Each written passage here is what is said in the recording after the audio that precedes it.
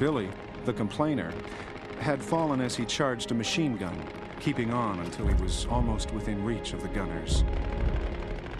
Big Herman had shaken hands with Freddy, said goodbye to him, and then had run amuck.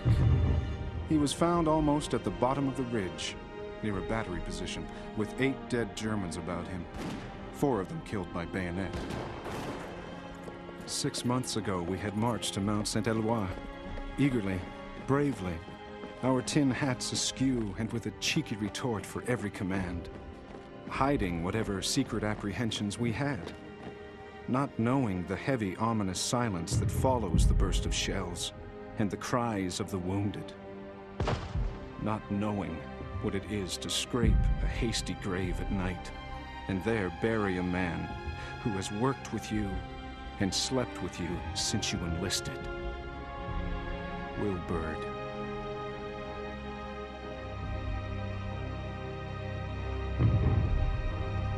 Although for me it is only about a year's service in France, it seems as if I had been born out here and have never known anything but everlasting mud and perpetual shell fire. None of us have lost our nerve, but the novelty is worn off. And we have seen too much of the shady side of fighting to love it for the mere sake of adventure. When called upon, we are cheerfully ready to do anything we are told but do not feel the same wild enthusiasm as formerly. We are all steadies and sobered up. Lieutenant Claude Williams. I met a British staff officer coming back from the front who told me he belonged to Army headquarters. He asked me if I was a Canadian, and when I replied that I was, he said, I congratulate you upon it. Never since the world began have men made a charge with finer spirit. It was a magnificent achievement. After three years of bloody stalemate, the Allies had reason to believe the end of the war was in sight. Eager to erase the memories of Ypres and the Somme, the press sang the praises of the Canadians. No praise of the Canadian achievement can be excessive. Canada has sent across the sea an army greater than Napoleon ever commanded in the field. The New York Tribune. The British press was less enthusiastic. The Times downplayed the Canadian success, giving credit to Haig and the British staff. The Daily Mail correspondent, W. Beach Thomas, seemed, if anything, even further removed from reality. At 5.30 this morning, Sir Douglas Haig, by deliberate choice, threw the weight of the British Army against, perhaps, the strongest force of the enemy ever yet concentrated in such a fortress.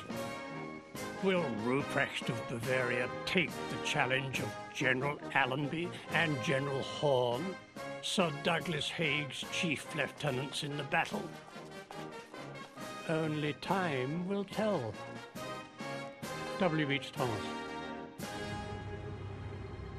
How often through the long months at Vimy had a Canadian stared over the parapet at the great humpback ridge looming in the distance and wondered what lay beyond. In the twilight, just before the darkness, we stood and looked down over the ridge on the enemy side. The first flares rose in scattered places, and we could not distinguish the lines. The air was damp and chilling.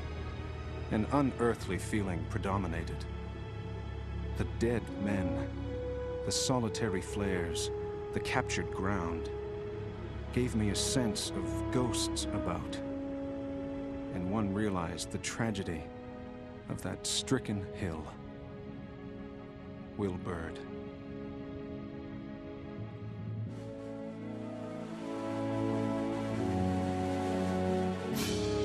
General Byng and General Currie were both rewarded for the Vimy victory, as was only proper since the Battle of Arras, of which Vimy was a part, was a dismal failure everywhere else.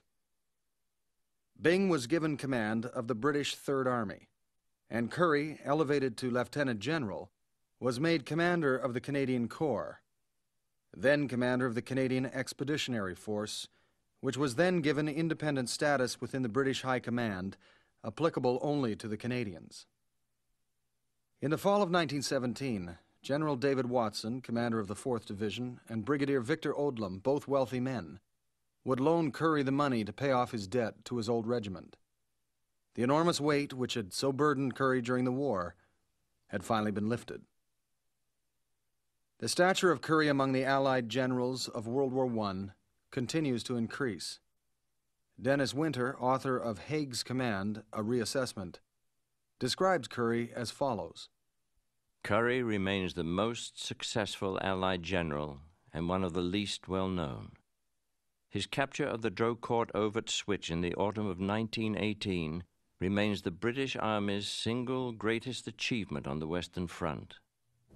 The combination of unprecedented densities of artillery and machine guns with flexible infantry sections was the Canadian trademark under Currie's command.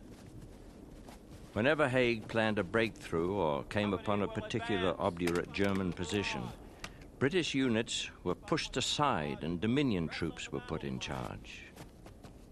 Were the men who made up the British Army therefore inferior, man for man? Were they less brave, less intelligent, less enduring than Dominion soldiers? Denis Winter.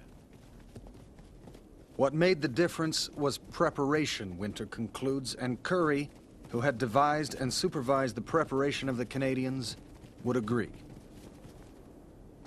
If the lessons of war have been thoroughly mastered, if the artillery preparation and support is good, if our intelligence is properly appreciated, there is no position that cannot be wrested from the enemy by disciplined, well-trained, and well-led troops attacking on a sound plan. General Arthur Currie. Currie's relationship with Canadian soldiers was almost unique in military annals. Like them, he was an amateur and a volunteer who had never seen war firsthand. Like his men, he had seized an opportunity to forge an identity that would bring unquestioning respect from friend and foe alike. Thus, the reputation of the Canadians and their commander were inextricably linked. In the final Allied offensive of 1918, Marshal Foch, by now supreme commander of all Allied ground forces, used the fearsome reputation of the Canadians to mislead and distract the Germans. Distraction is an essential element in surprise. And in this case, it centered around the introduction of the Canadians. Regarding them as stormtroops, the enemy tended to greet their appearance as an announcement of a coming attack.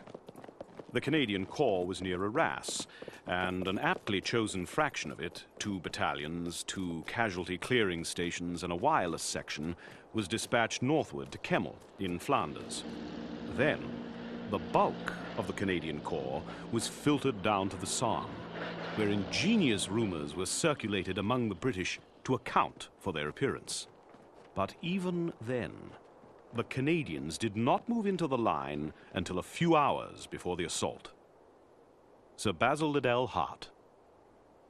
The British Prime Minister, Lloyd George, stated that if the war had continued another year, he would have made Currie field commander of all British forces.